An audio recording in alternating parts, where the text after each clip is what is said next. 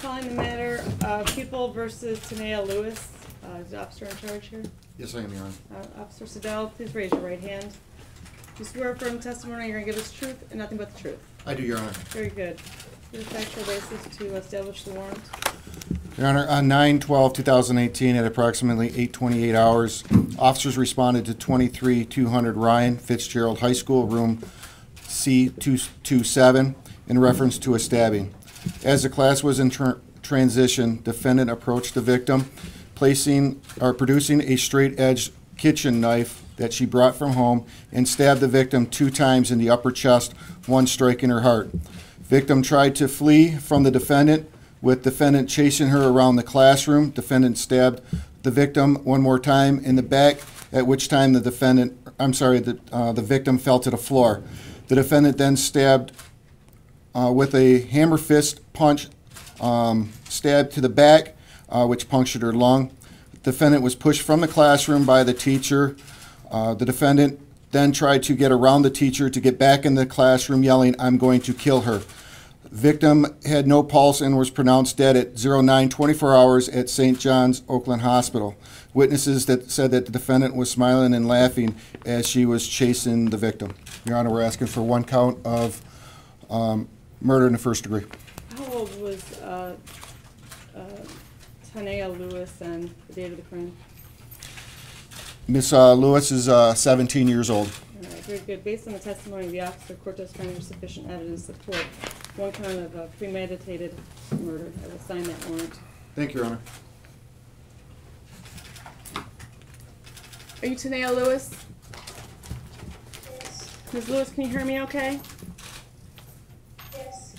Yes, Ms. Lewis, you are before the court for an arraignment. Um, Is there representation on behalf of Ms. Lewis May here? it please the court, Mark Brown appearing on behalf of Ms. Lewis, Your Honor. Very good. On behalf of the people?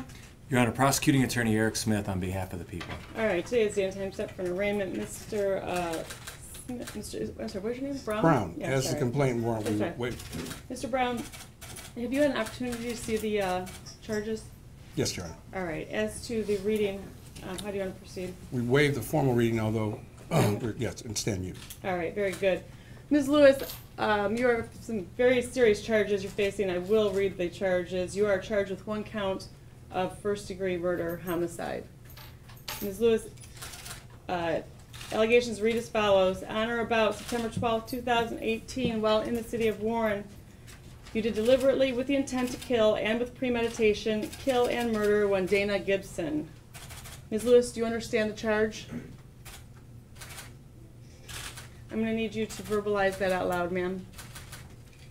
yes, All right, did you, and if you are found guilty of this charge, you could face life without parole. However, I'm not sure. Is that correct, Mr. Smith? That is a potential, Your Honor. That is a potential, and, um, Mr. Brown, you've discussed this with your client?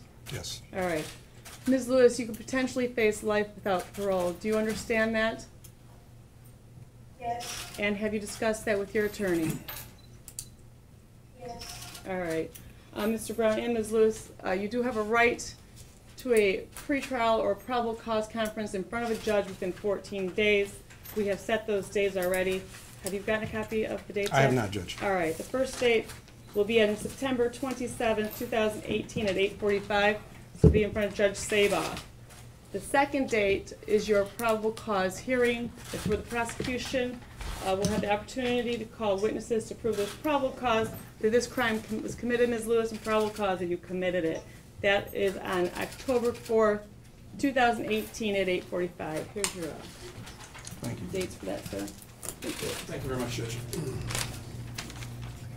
All right, as to bond, I'm gonna hear from both sides on this matter. Um, Ms., uh, start with Mr. Brown, you want to address bond on your client? If the court would entertain bond, um, certainly she is a, obviously the court, she's a high school student. Uh, It's my understanding her grade point average is uh, four point plus. Uh, She's supported by her family and friends. I'm not aware of any other um, criminal activity prior to this uh, particular incident. Um, I'll leave it at that. Mr. Smith, on behalf of the people. Your Honor, the defendant faces first-degree murder, premeditated. Your Honor, the defendant faces the potential of life in prison without parole. Despite, even given her age of 17, she could still face life in prison without parole. Your Honor, the victim in this case was a 16-year-old girl murdered inside of a high school. And that murder in a high school is the first in Macomb County history of a murder inside of any school in Macomb County. I think given all that, Your Honor, this defendant should not see the streets and should be locked up for the rest of this case. So we're asking for no bond. All right, there's a balancing act when considering bond. Um, I do recognize we have a seventeen-year-old here. She is, in the eyes of the court, an adult, and this is certainly an adult crime. Um, we really need to look at the protection of society, and, um, I believe there were a bunch of witnesses to this, where this, when this happened, was in the classroom, as stated in the information. Do we know approximately how many witnesses? There's about 20, 20 to 25 witnesses, Your Honor. Um, and I know we've got a frightened community, we have frightened students in school, this was a senseless tragedy. While innocent until proven guilty, the court does feel that the state of Michigan will be safer, um, if she remains incarcerated throughout, uh, the remainder of, until she sees trial. So I am going to hold you, Ms. Lewis, without bond. Uh, the next court date will be on September twenty-seventh, you have those dates. Thank you, Judge. Thank you. Thank you, Your Honor. Thank you, Your Honor.